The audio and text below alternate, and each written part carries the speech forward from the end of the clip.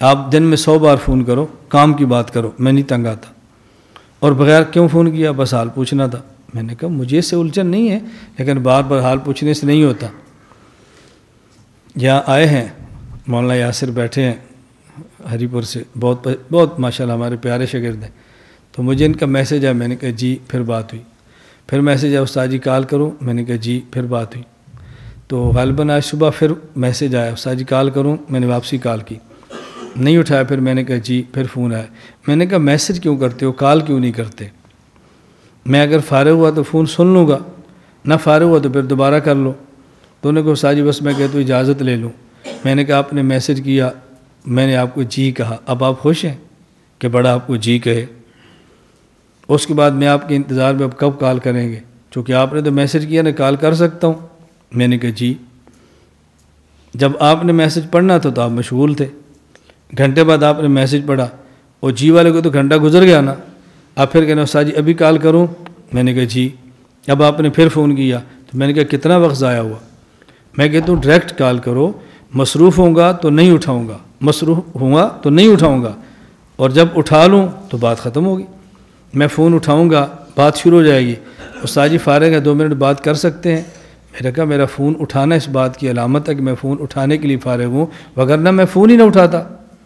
بسم اللہ پڑھو، بات کرو۔ ہماری ترتیب کتنی آسان ہے بتاؤ، کتنی آسان ہے۔ فون کریں گے۔ میں نہیں سن سکا۔ میں نے واپسی فون کیا، یہ کاٹ دیں گے۔ میں نے پھر فون کیا، پھر کاٹا۔ پھر ان نے فون کیا، میں مشغول تھا۔ پھر تھوڑی دیر بعد فون کیا، پھر کاٹ دیا۔ بھئی آپ بار بار فون کیوں کاٹتے ہو؟ بس میں کر لوں گا۔ میں نے کہا نہیں، میں نے جو سوال پوچھا، مجھے جواب دو، فون کیوں کاٹتے ہو؟ میں چاہتا ہوں استاد جی آپ کے پیسے خرچ نہ ہو میں نے کہا، آپ کے ہاں میرے پیسے کی قیمت ہے، میرے وقت کی قیمت نہیں ہے۔ بیٹا، میں نے فون کیا، آپ سن لیتے۔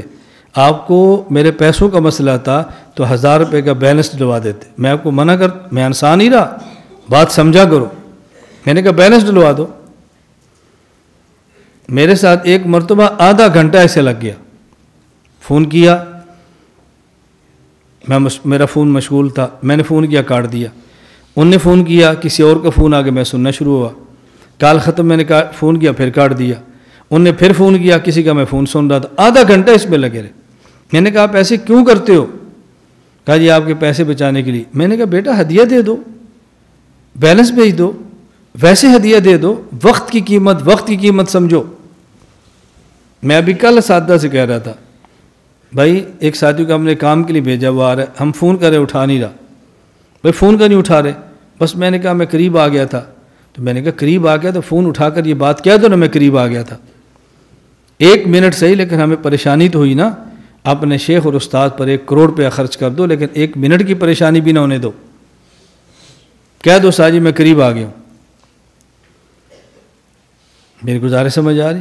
آپ یقین فرماؤ کئی مرتبہ میرا اس طرح دل کرتا ہے کہ میں کسی خان کا اجتماع میں پورا گھنٹہ ایسے فون پر بات کروں۔ فون فون پر بات کا معنی نہیں کہ فون پر تقریر کروں، اس کا معنی کہ سمجھاؤں فون کیسے ہوتا ہے، فون سنتے کیسے۔ اتنا شدید ترین ہمارا فون مصروف ہوتا ہے، لیکن بہت کم لوگ ایسے ہیں کہ جو فون پہ رابطہ کریں اور میں ان کی بات نہ سنوں۔ بہت کم ایسے ہوتے ہیں۔